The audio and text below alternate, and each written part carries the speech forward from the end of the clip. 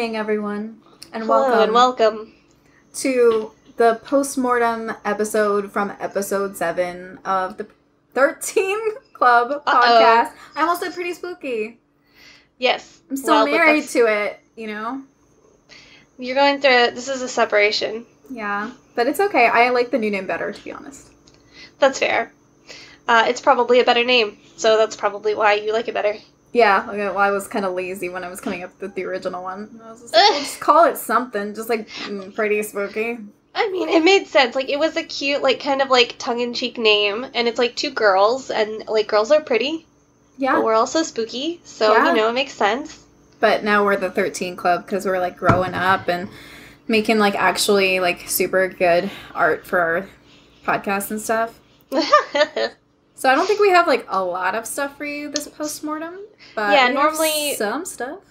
yeah, if you've been listening for a while, you know that our postmortems are normally um, we go in a little bit further and give more information on something we covered in the previous episode. Um, but our last episode, episode seven, uh, Spectre read a listener letter, and uh, I did the Ahenobarbus Hinocide, which Hinocide. I keep saying that, and I know it's Hinocide. Ahenobarbus Hinocide um, story, which I think I pretty much covered what there is to cover in the episode. So, um, I creeped on it harder, if that makes like here's a, like an extra. Oh. I creeped on it harder. Saw some Oh, yeah? pictures I didn't want to see. There you Yeah, go. I- That's that's you my know- postmortem about this. that seems to be the general consensus. is If you look too hard into it, you're going to see some things that you probably aren't really looking for. I feel like I Um, did part of the postmortem when I was like the coldness in my heart tidbit last time. Yeah, Sorry. a little bit. should've No, it's it. fine. No, it's fine. I have a hard time doing that too, like knowing when to stop myself and say like, uh, this should just go ahead and be in the postmortem. You know, but- spread out your content. I'm just like That's the hardest for me Ready to blow my load. Uh, so, do you? What do you got? What do you got this week? oh, okay. I have I have something cool. Um, we can take turns if you want. So you- sure. Uh, let me open up. Weirdly enough, Instagram oh, because okay. I got a message from a friend of mine who shout out to him. He has like always been a super um, supportive friend for like literally years. His Mhm. name on Instagram is Juan Found eighty six. Okay, Juan J U A N. Mhm. Okay, Juan found eighty six. So he sent me a message, and he w- it was like right after I posted about our, last episode, and he listened to it, and he said, "Okay, so this might be stepping over the friends line because I don't want you thinking that because we are friends, you are giving me special treatment." And calling y'all's podcast and telling one of my scary story that I have about my pets and their sixth sense. Sixth sense. Is there an application process, or can you squeeze me in, or how does this go? And I was like, "You just send me your story, and I read it in the episode. No biggie at all. You're, you've already done it. You've Yeah, already done it. I said, "I'm flattered that you're interested, and I still feel that way." And so he was like, "Oh man, this is awesome. Thank you." And of course, I love this kind of creepy and scary stuff. I get scared, and that's the best part. LOL. We I have- like that something we're doing is scaring people. That's what I want. We have two dogs: a Chihuahua, Chacho, and a Mutt, Chorizo. Great names. Oh, so cute. When they bark, they bark normal, like you know, woof. Like Mhm. you know, you know, woof. You know, like whatever. Uh, well, think about it. this one night they started to howl and it was really weird and it was high pitched. And they were howling at the door, and of course, I go to the door and I'm about to open it to see what's out there. And my mom stops me and says, Don't go outside. Of course, I stopped in my tracks and I asked her why. And she looks at me and she says, There is death lurking outside. Uh, excuse me? The next morning, my neighbor's wife passed away from a heart attack. Oh, she was no. a health she was a healthy person. Mm-mm. Uh-oh. Yeah. So let's talk about your mom. Yeah, what, like well, tell us about your mom. Does she always have like kind of a Like she knows. She knows like what does she is. know? Yeah. Um, I think that's cool, and like I don't want this to be offensive, like literally at all, because Marimay and I are both witches. But I'm like, is your mom a witch? Yeah. Uh, it's fine though. Like I've known other like women who are only women, but I'm sure there are men out there who are like this as well, who are sensitive or have sort of a knowledge about this stuff. or even and, just and a they don't call it like witchcraft. They just have like you know a thing. gut gut feelings, intuition, Yeah. whatever. My mom, like, I call my mom a hedge witch because she's like always been like, I'm growing herbs in my garden and I'm doing like, she does Reiki, like, like hands on healing and stuff like that. And she's never called herself a witch, but I feel like she is. Yeah, your mom definitely gives off that vibe Yeah. for sure. Yeah, my sister too. Family of witches. I mean, that stuff. I think there's more of that stuff out there than people even like think about whether they like consider themselves under that umbrella or not. Like, Yeah. I think it's it's it's a lot more common, but there's also like a you do lot not of need, it. I don't you do know. not need to label it. I felt like yeah, I felt better to do so because it made me feel more understood and it was easier to sort of like explore my craft. Um, but yeah, I just wonder if your mom just sort of has a sensitivity or a feeling for that kind of stuff. I bet your mom has some great stories. I know. I bet if you asked her, I bet she's got something else that like, so she's got something else to say, but no one's ever asked. yeah. You know? So if you're listening, let us know if your mom has any stories, Yeah. or I'll just like Um, bug you on Instagram later about it. Yeah, whatever. Um, that uh, this is not what I was gonna say, but that reminded me that um, at work the other day, and I think I m- mentioned this to you. Um, there were two customers in the store, and they told me as they were leaving, um, and I don't even remember what prompted this. I think I overheard them talking about something, and I asked like what it was they were saying to each other because they were kind of like mumbling and being weird about it. Um, but it was I think a dad and daughter, and they were just they just told me really short and like short and sweet that they had been um, out somewhere. They were like in a wooded area. They were in a car. They were parked, and they were just sitting there talking or something. And um, they had the headlights to the truck, or no, the headlights were off, and they saw a shape come out of the woods that looked like a man hunched over and like shoulders hunched, like spine very like curved, and like neck kind of at a weird angle. All right. And the daughter just kind of stopped. I think daughter, presumed daughter, stopped and said like, "Do you see that?" And the dad was like, "Uh, yeah." And he turned on the car's headlights, and it was a deer. It was definitely a deer. And they turned it back off, and it in the dark it just it continued to look exactly like a man, and it didn't move and it didn't go anywhere. And they were just like so unnerved by how still it was and how different it looked uh, in the light versus in the dark that they just left. And I just thought it was really Yeah. weird. It reminded me of how in our earlier days we talked about skinwalkers, and I wanted to ask them if they'd ever heard of that, and I told them they should look it up if they've not heard of it before. It sounds sort of similar to those legends. And that was yeah. they said that happened somewhere. I want to say they were in, in in Maryland, so not far from here. They weren't like this wasn't while they Creepy were on vacation or anything. Creepy shit is always going down in Maryland. Yeah, that's true. It's a creepy place. There's a like- lot of weird stuff. I feel like the first time I ever like heard of that being creepy was like because the fucking Blair Witch Project, but that was because I lived in California, so that was like how the word traveled. Yeah, we we've driven past there a few times uh, on like the way to visit Pulp's family, and Mhm. he's told me every time that like if you go in that town and like mention that movie at all, they will like run you out of town. Like they do not want people to come and visit and talk about that. Well, it's they they don't you know the movie wasn't good, so that's why they're. I like that movie. I don't know. I okay, I will say I like it for what it did at the time, but if you compare it, if you compare it to movies that have come out since, it's not great. That's There's a, I'll, there's a I'll, lot of I'll there's agree. a lot I'll of agree. boogers, a lot of up the nose, of, like you know. I just I at the time that movie came out, like I have like this really specific memory of uh I was still in dance classes at the time, and this girl that I was in dance classes with, like my family, we were out to eat. Uh, her family came to the same restaurant, and she like ran up to my table and just like sat down. Like we were really, you know, we were close, so she just like sat down at the table as if she was a member of the family, and she was like, "We just saw this movie, and it's the scariest thing I've ever seen. Are you guys gonna go see?" Like th- we were too young to see that movie. Oh, yeah. By the way, like yeah, I saw it at a friend's young. house. Um, because their parents didn't care about things. they, they just had it on. So I just saw like parts of it, and then also I heard descriptions from other people. And that so, like, almost made it was scarier in some it ways. made it way scarier. And then when I was a little bit older and I watched the whole thing, I was kind of disappointed. So maybe that's why I don't like it as much because I like have this Im- image of it in my head as being like the scariest thing ever. That's that's completely possible because at that time I could not think of anything that sounded scarier to me than that movie. And what I heard from like other girls that I knew and like the the Mhm. commercials on TV were scary at the time. Yeah. So like and the there was all that stuff about the like oh like the actors are all missing. Like you know how they like Yeah. they they made it like a pre ARG ARG. Yeah. That's Like- a good way of putting it.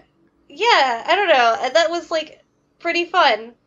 So I commend them. I commend them for that stuff. They Maybe, they broke maybe new it's ground. time. Maybe it's time for me to like rewatch it. Uh, so I will go ahead and do uh, my first callback. My first postmortem callback was um, I did the the Watcher House, and I think it was was it six or was it five? It was six. Six. In episode six, I talked about the Watcher House, which was Yeah, because that was when that was the episode called Crucified. Remember? Friday Ah, the yes. Thirteenth. How could I forget? Uh, the uh, so I was looking back through some of that stuff, um, looking for something new to see if there had been any updates, and um, there was I found an article about it that I had missed in my initial research, and they just happened to throw out that the town that that house is in is the same house or the same town that um, John List, the family annihilator, was from.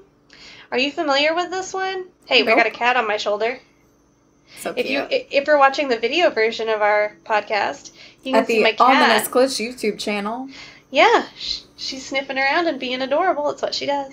Mm-hmm. But um, I, you listen to my favorite murder, and I know they did an episode about it. Um, a couple other like podcasts and things have done episodes about it. There are like some YouTube videos about it, and it's a really interesting story that maybe someday I'll cover. But the short version of it is this guy got into like money trouble, killed his entire family in a really weird way. Um, I remember. You do? But go ahead. Yeah, I, he he killed his he killed his whole family, um, and then disappeared for like forty years, and they finally caught him. Uh, and he was like living a different life under a different name. I think his like neighbors recognized a sketch of him that went up on like Unsolved Mysteries or something, and he got turned Yeah. in. Yeah. Um, but yeah, that's the same town as the Watcher House. Uh, I just thought that was really interesting. That yeah, it's an interesting piece of trivia. that's that's it. That's all I got as far as the Watcher House is concerned. Nothing new on that one, but I just thought that was a. I like that story. I like the term family annihilator. Yeah. I feel I think- that's my new um like that's my new PSN name.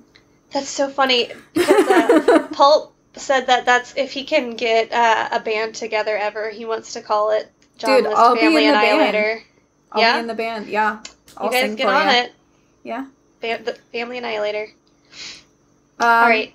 So I don't have like anything else that's super exciting, but the one thing that I do have is um, I noticed that we had uh, more listeners than I expected on our film exchange uh, episode, and I wanted to recommend that I was just browsing through Netflix yesterday, and one of my favorite French extreme horror films has been added.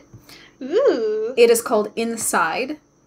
It I've heard of this one. It is a horror movie about a woman who is pregnant and her husband has passed.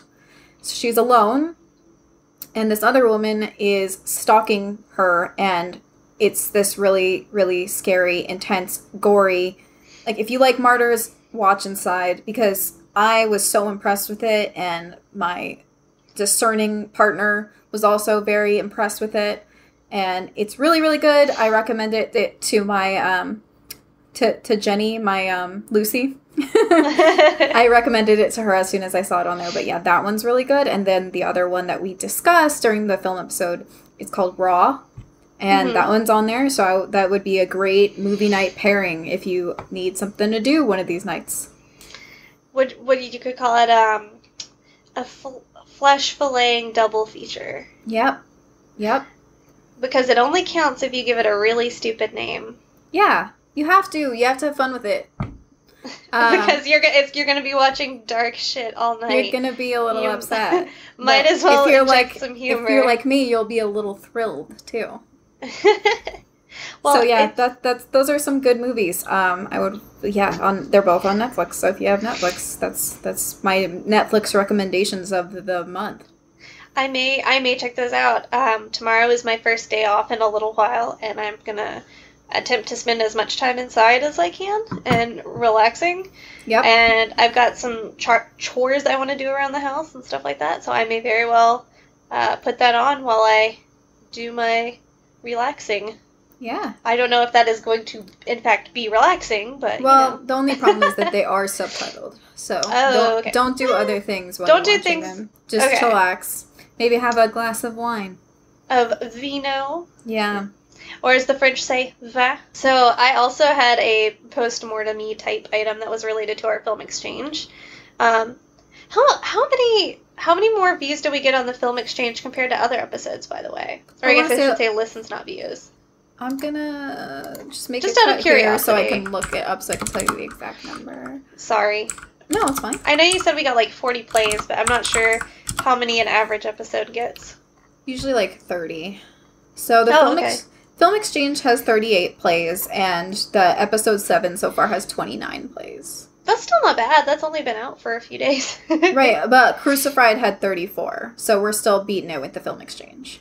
That's cool. Um, I, I had a feeling that the film exchange would be good because if nothing else, it's going to show up for people that happen to be searching either of those films. right. And then So- hopefully, if they like us, they'll go back and listen to other episodes too. hmm But I'm glad to hear that it was a success. I know initially I mean- there was some apprehension on whether or not that would fit in with the show. When we say it had 38 plays, we're like, that's so successful, but we're still a baby podcast, and we're just think glad literally anyone is Yeah. listening. That's I would call it a huge success for sure. Yeah. Okay, so are we jumping back into it? Yeah. Sorry, I didn't mean to interrupt. I was just curious about no, numbers. no, that's fine. Um, so we, yeah, um, we had slightly, you know, average to higher numbers on that um, episode, so we are considering doing it again. Yes. Uh, we- I think we said that in the last episode too, or uh, Right. in the in the in the one itself. But right. anyway, that was a that was a brainstorm, but this I'm- is like an official announcement. this is a commitment. Yeah. Um, uh, oh, so uh, related to that, uh, my offering to the film exchange was Suspiria, which is my favorite movie, and um, is my favorite. I mean. Um, but like my two brief things on that is um, a if you're unaware, uh, which I don't know if anyone is unaware, but if you're unaware, they are remaking that. Um, I still haven't watched the trailer. Oh, girl, I've been Please. waiting because I was like, I gotta watch the movie before You I did. can really like, and then now I did, but I haven't gone back to watch the trailer. Okay, well, please watch it uh, because I would be interested to see what you think about it now that you have seen the movie. Um, Mhm. But we, I mean, the trailer doesn't show too much, but it it looks very different from the original Suspiria if you're familiar with it. But it looks moody and really interestingly shot. Um, I am, against my better judgment, excited about it. Uh, I think it could be really cool. Mhm. Um, my second Suspiria related tidbit, and I will post this on uh, Twitter and Instagram and stuff too. Um, but I just thought it would be like a fun thing to share. Uh, we uh, went to Japan last year, and we're actually going back in a couple weeks. Uh, but Pulp and I went to Japan, and there, if you are in Shinjuku, uh, in Kabukicho, there's an area called the Golden Gai that has a lot of teeny weeny bars, and a lot of them are themed teeny Oh, weeny yeah, yeah, yeah. bars. I remember. I know what you were gonna say, and I'm excited. And we happened to find a bar that is called Cambiare, and it is Suspiria themed. Um, I think like it's technically supposed to be just Dario Argento themed, uh, but that's the- like his most famous. yeah, that's kind of the one, and they definitely took the most inspiration from Suspiria for the interior decor. Um, they have like the floor is painted to look like the the glass ceiling that the girl falls through towards the beginning of the movie, and a lot of the walls have like the same patterns that you see like different motifs throughout. And once you're inside the bar, uh, the door that you come in through when you turn to leave, it looks like a, a wall, Mm-hmm. and the flower that you that you know Susie has to twist um, to find the secret room is the handle of the the exit. That's so, So cool. like if you're not like familiar with it, you're just like, oh, this is a door handle that looks like a flower. But if you know what it we'll is, it's like Japan together. Definitely for sure. one day. It's like it's just it's a cute little hole in the wall spot. If you didn't know about it, you'd never find it. It's like on the second floor above another bar. Um, it is interestingly enough right across the street from a bar called Deathmatch in Hell that is themed around horror movies and metal music. Nice. it is Ex- it's excellent. Um, everything there costs 666 yen. So ah! that's really cute. Um, at Cambiare, they had a drink. It was something, it was like an Earl Grey tea flavored vodka that we have tried to recreate here with like oh right. trying to brew tea in vodka ourselves, but it's never been as good. So I am eagerly awaiting going back to my like alcoholic happy place Mm-hmm. uh, very soon. But that was my those are my little kind of Suspiria tidbits. Oh, and I was thinking about this, and I wanted to put this out there. I guess this is a corrections corner. I was wanted to clarify that when I said that the woman who played the old Helena Markos, like the the old decrepit witch one, was a like 91 year old hooker that Dario Argento took off the street. I was reading the word hooker directly out of the book from an interview that probably took place 40 years ago. Oh. I wouldn't I wouldn't normally call someone a hooker. no, it's Uh, fine. I would say I would normally say sex worker. Sex worker. But I listened I listened back to our own episode and I heard myself say that and I went, "Ugh." And just wanted to correct Nobody said anything about it, but I felt bad about it. I felt bad about it. that that's fine. That's not that's not my language. I'm like That is- shrugging it off because I know you so well, and I know that you're not like a sex worker shamer at all, and neither I- am I I. and this podcast is sex worker very friendly. sex positive. Yeah. Uh, Um, uh, and we, I just yeah, Yeah. I listened to myself on that recording and I went, "Ugh, oh no." And I I I was reading that directly out of the book that I had uh, pulled my quotes from, so I just wanted to get that off my chest. It was bothering me this whole time. That's fine. I forgive you, and I'm sure our listeners do too. Okay, I hope Um, so. The only other thing, so this is going to be like a short episode, I think, uh, postmortem. The only thing I have left to say is that the we've picked our films for the film exchange, and Mirame will be watching Crimson Peak, which is one of my favorite films.